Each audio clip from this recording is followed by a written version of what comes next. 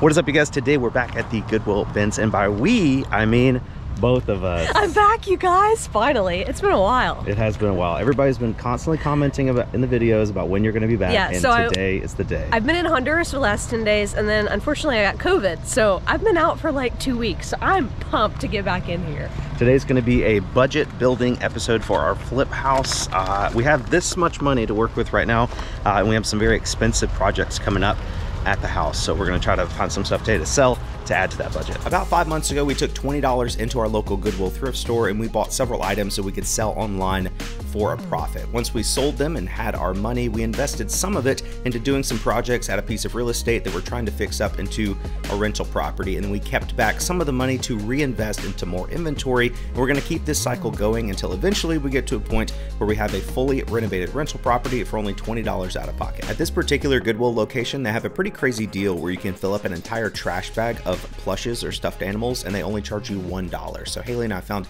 a ton of really nice characters today. Good morning. So BB8. This is a that's one of the um, nipplers or whatever it's called.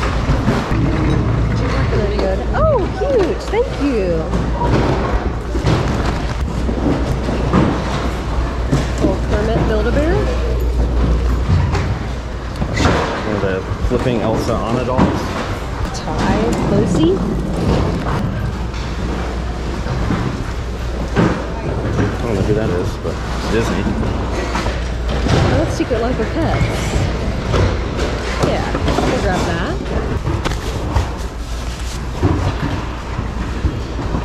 Toy Story. Another Elsa.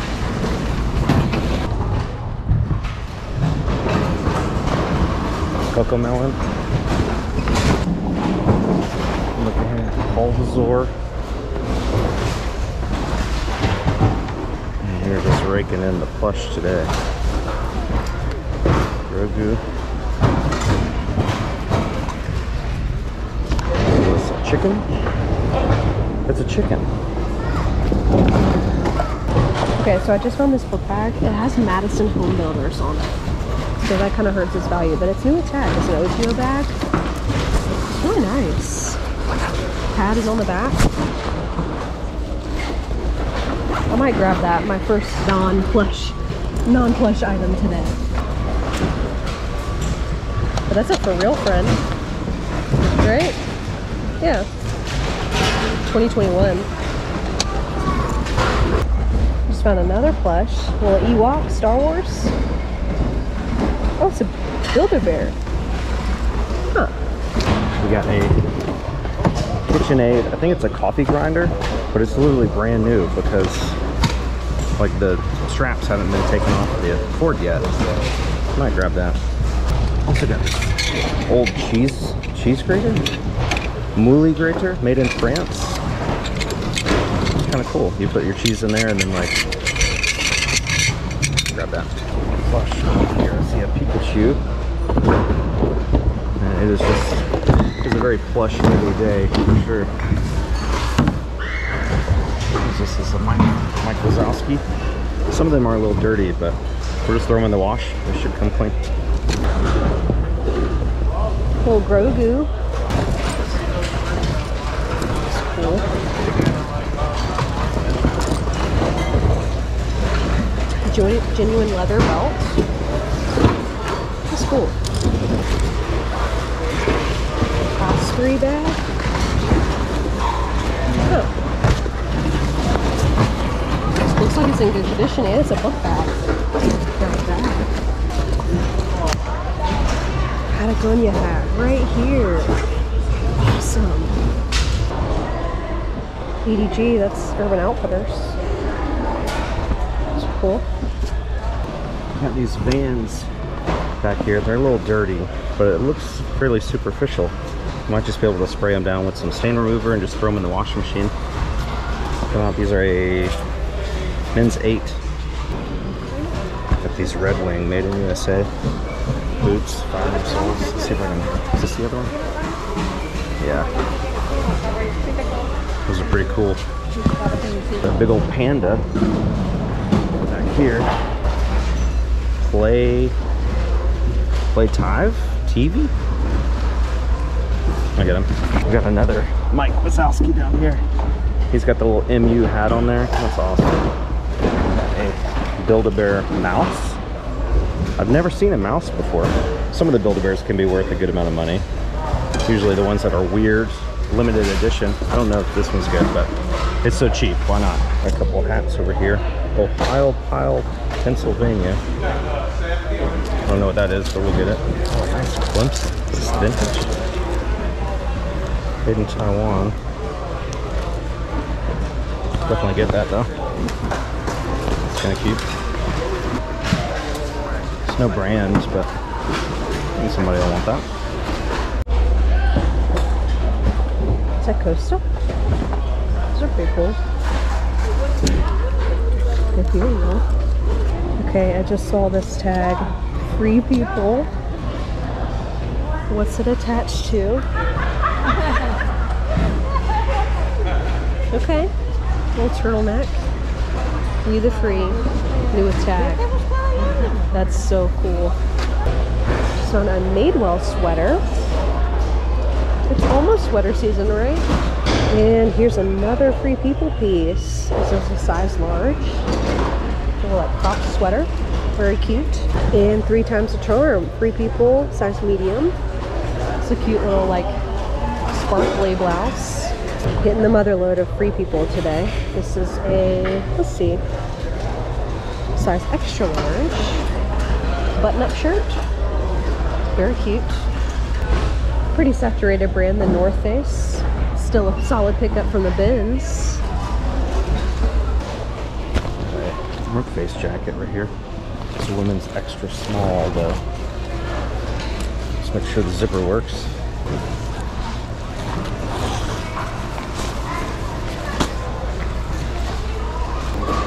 It's the high vent, North Face high vent, women's extra small. I think there's uh, saw Nike over here. It's a small made in Cambodia. No issues though, so I'm gonna go ahead and get that. I'm gonna go combine the plush bags with Haley, check out, see what the damage is, and then head home and get this stuff cleaned up.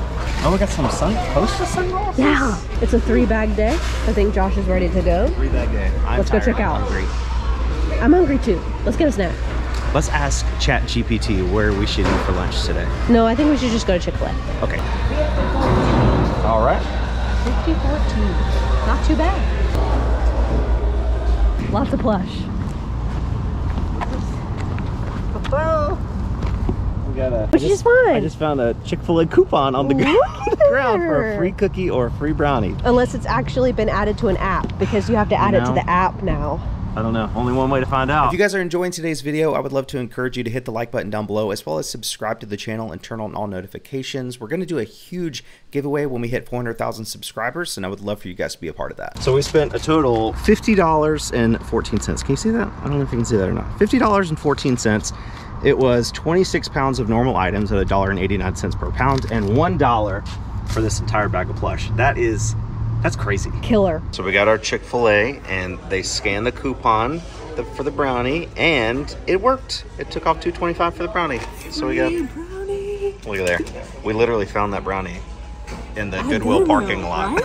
Gonna stop at another Goodwill, but Haley has not seen the flip house since she left for Honduras. Yeah, so she has not seen any of the work that I've been doing over the last five or six or seven videos that we posted on the channel. So we're gonna head to the flip house after this Goodwill and get Haley's reaction on everything that I've done. These are kind of interesting looking Merrells, but there's a hole in the side right there. But if there wasn't a hole, I would definitely get those. Those are awesome.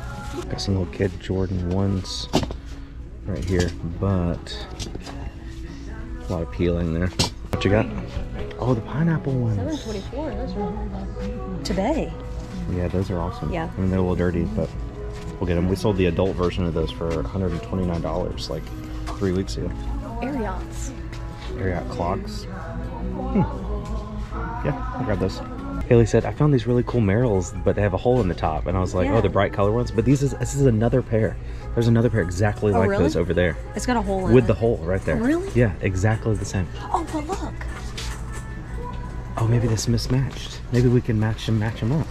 For some reason, this part of the video triggered a copyright claim for some of the background music in the store, but we walked over here and found both pairs of shoes and they were mismatched, but both pairs did have a hole in one of the shoes, so we couldn't get either one of them, unfortunately, but they were pretty cool looking. I might get this pair here. Adidas, they're just kind of classic, minimal wear on the treads. They're men's size 13, black and white, not too dirty, just need a little wipe down. Men's size 13 is pretty good. We just sold two under uh, pairs of Under Armour shoes that were men's 14, I think. Uh, and both of those, one buyer bought both of them for like 60 bucks. So I might be able to get about 25 for these. Looking at the clubs over here, I don't see anything of value, but I found this two iron. Look how tiny that is. Oh my gosh. That'd be impossible to hit. So I'm over here in the women's section actually, but I just found this men's North Face like half zip pullover. It's a men's size medium, kind of like a don't know what color that like a heathered speckle gray tan sort of. It's got a little zip pocket on the sleeve. No stains, no holes that I can see. This will be five dollars and seventy-five cents. So definitely gonna grab that. You found anything? Looks like it.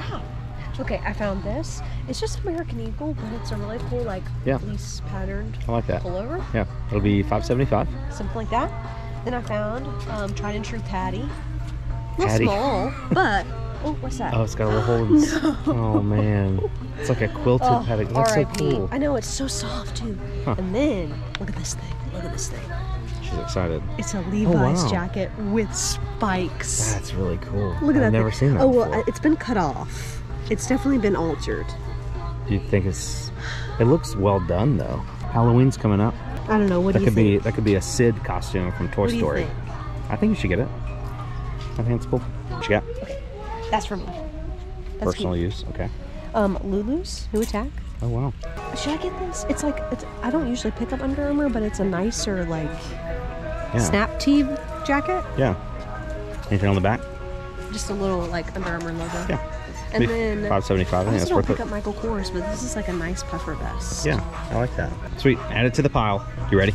Yes. Okay. Let's head to check out house. and then go to the flip house. Sorry, I hiccuped. Okay, Haley was digging in this little thing for something remote, and she found a Look, club, I found a a club, Club penguin. Penguin plush. Kevin, Commonwealth Picker, sold one of those for like 40 bucks the other day. Seriously? Not that exact I one, used but to be like a huge fan of Club Penguin. Yeah. Before like creeps got on there and talked to little kids. you were one of those little kids. That's awesome. I don't know how much it's worth, but Kevin definitely sold one for 40 bucks. Every time I try to leave, you keep finding more good plush. We'll get the club penguin and the and the squish squirrel. She's so excited. This is her first time in a thrift store in like two weeks. I can't get her out of here. So Haley decided to put the Ariat clogs back. Those are just kind of a tough sell these days, but we did get everything else, and we spent a total of 46 buckarooskies. Pulling up to the flip house. The only thing you can see from outside is the door that I painted. What do you think? Lots of trash outside. It's just a door. There's trash. The trash is fine. What do you think of the door? Oh, the door! Wait, I gotta get a better look. It's Okay. Too far away. It looks good. Yeah, I like it a lot.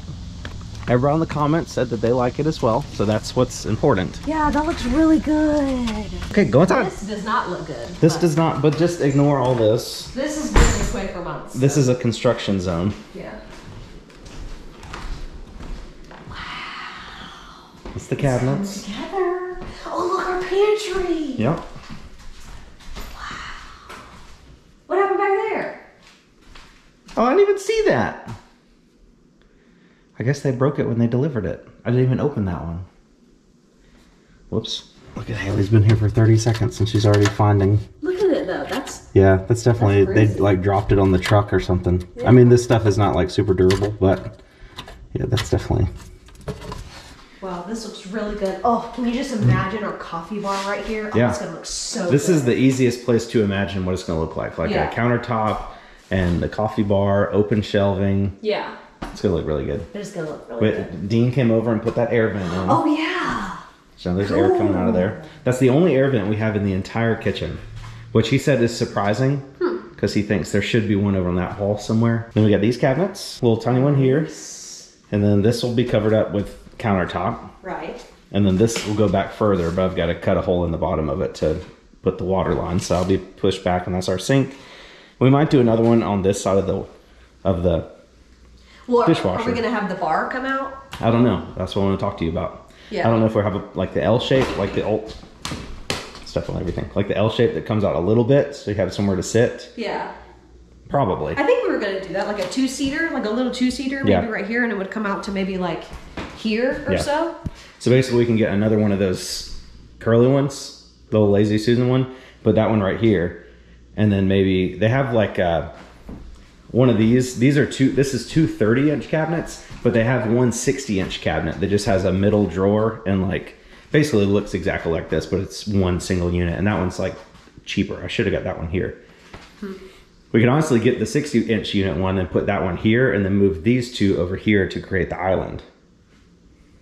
Yeah, and then we'll still have to do we'll have to do the upper cabinets because I think we will need some extra like um, space Yeah. for appliances and stuff. Yeah. So over to like here, and then cute little floating shelves here to kind of open up this space because it was so closed. Before. Yeah, it was very closed. So we'll definitely have to get upper cabinets at least over there in that corner. Yeah. What do you think? This is like a really good Josh. Thanks. Uh, this bathroom right here, I painted it white. This one. Yeah, and I cut a hole in the in the shower. Okay. Okay. Oh, wow. Do you like it? Is that a good wow?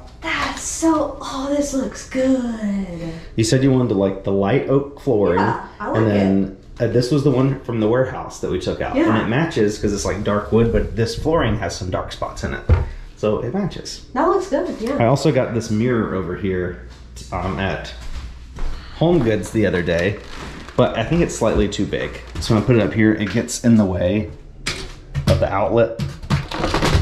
But you can Like- put it higher, right? Yeah, yes. But then it would still be in the way of the outlet. Oh, I see. so I don't know. I think we need something smaller. Hmm. And it has a crack in it, which is why I got it for $15. But people in the comments got mad at me.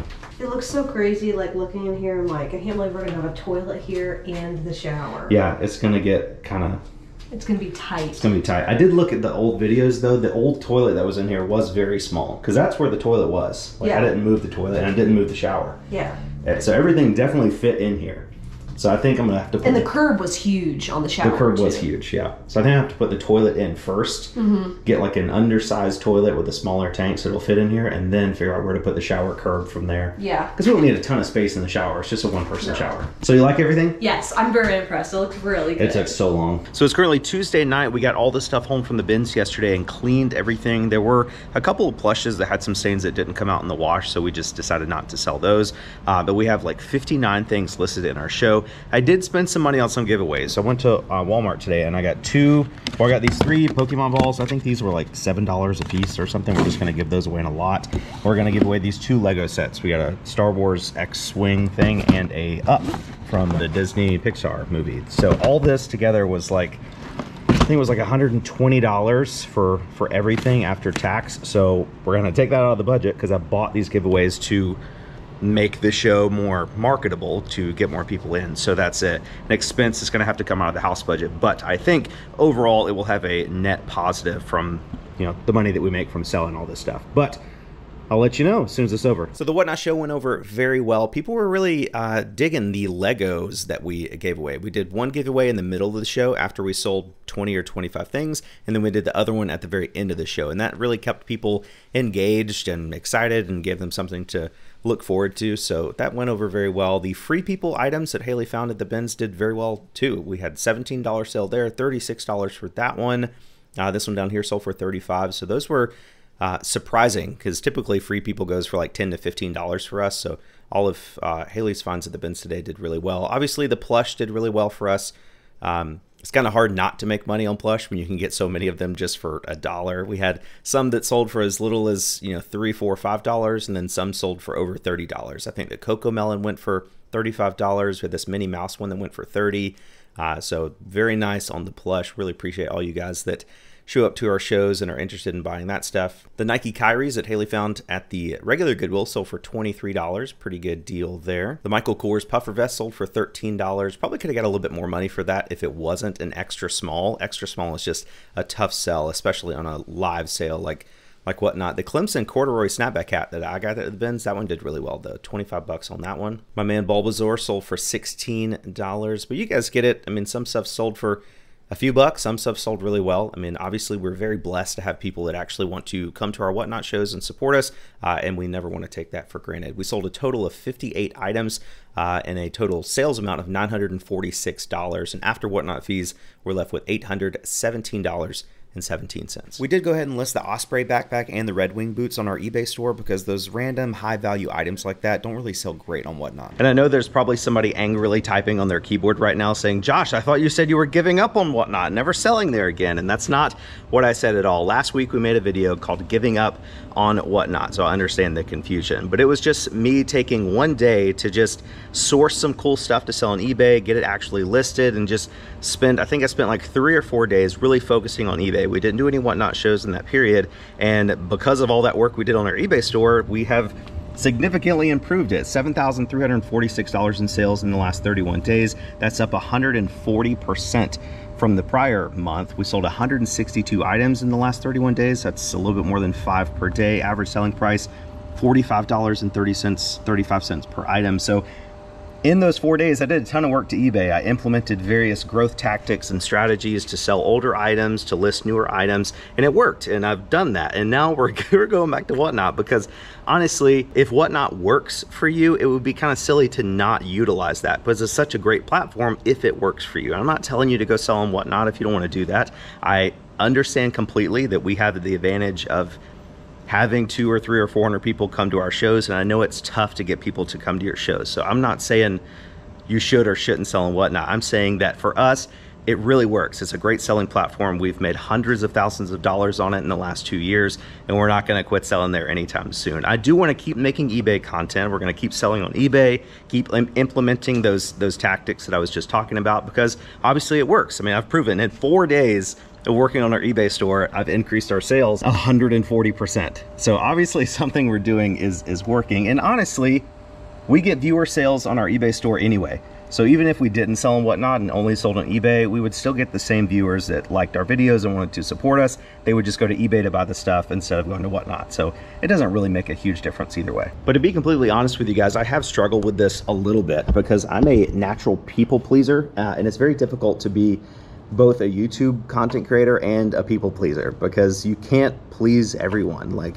I read all the comments and literally like 98% of you guys leave positive comments that are encouraging and you just you want to see us succeed. You don't care where we sell this stuff. But there is that small percentage of people that get mad when we do whatnot auctions and think it's taking advantage of viewers and all this stuff. And part of me, the people pleaser, wants to like explain everything. Like, hey, we give stuff away for free. We take care of our people. If they buy a bunch of stuff, we give them free stuff. And part of me is like, why do I feel the need to explain myself? Like, why can't we just run our business however it works for us and not care what people think? And it's just like a constant battle in my brain and I don't know how to get along along get over that. I don't know how to get over that. It's it's honestly been a struggle, but I am coming to the conclusion that I need to stop caring so much about what strangers on the internet think about us, especially because it's such a small percentage of those strangers. Most of these strangers on the internet, you guys are again super nice and supportive and encouraging. And it's just like a, such a small percentage. I don't know why it lets me I let myself get bothered by it so much. Most YouTubers I know that are similar sizes to us, like in terms of views and subscribers, they just don't read the comments at all anymore. They're just making their own videos and they don't care about the opinions. And I don't think I'm quite there yet because I really enjoy engaging with you guys. We're very responsive to our comments. I'll give you a heart. I'll respond to questions, at least in the first couple of days of the video before we move on to the next one. But I did go ahead and delete the YouTube Studio app off my phone. It's like an app that tells you how your video is performing and shows you your views and comments in real time and stuff. And that I've really let that app kind of take over a little bit too much lately. So I think deleting it and just like maybe spending 30 minutes per day responding to all the comments from the day before is a much healthier method of engaging with you guys than constantly doing it on my phone 24 7. I think that'll really help with the mental anguish caused by that small percentage of negative comments. Haley's over there. She doesn't even read the comments at all. So if you ever get a reply or a heart, it's def- well, okay. it's definitely me. She just can't handle any possibility of negativity, so she's like, I just won't That's read true. any of them. And like you were saying, I heard you saying something about you are a natural people pleaser. People pleaser. I am a natural people pleaser, and I yeah. take things really personally. So it's very for difficult. my mental health, I just can't. Sometimes yeah. I do though. I, th- but that's you're so much wiser than me because No. you're you're like I'm not going to be able to handle this, so I'm just not going to put myself in that situation. And I'm like I'm not going to be able to handle it either, but I'm just going to try it and see what happens. Even though I know what's going to happen, it's gonna it's gonna affect me. I was talking to um, my friend Carrie, American Arbitrage, the other day. He posts videos on TikTok, and comments about resellers on TikTok are super negative. Like I mean, it, they just rip you to absolute shreds on there. Uh, and he says it like doesn't affect him, but like behind the scenes, I think it does a little a little bit. Um, again, even though it's just strangers on the internet that know nothing about you, just like having people be so mean to you sometimes, uh, it it can take a toll. So that's why we don't post TikTok videos. I post YouTube shorts sometimes, but they don't really get any any type of views. But anyway, I'm rambling. Just know that we're not leaving whatnot. We're going to sell them whatnot. We've got uh, a show coming up soon with all these here. That's going to be a good video. Tune in for that. Uh, we're also not leaving eBay. We're going to sell on both platforms for as long as we possibly can because there are items that just work really good on eBay and there are items that work really good on whatnot. Again, not trying to convince you to sell on either platform. I'm just telling you, we're in a new mental space in business and we're going to keep doing what works best for us without worrying about what other people's opinion of it is. I do enjoy people's opinions if it's like honest, constructive criticism though. So over the last couple months, we've gotten multiple requests for us to bring back the outro song at the end of our videos. We had stopped it maybe five months ago and I was like, ah, people just aren't interested in that. But turns out it is. And I brought it back in the last video and we had probably 10 or 15 comments like supporting it. Like, oh, I'm so happy the song's back. So we're bringing back the song again. Thank you guys so much for watching today's video. Hit the like button, hit that subscribe button. Love you so much and we will catch you on the next one.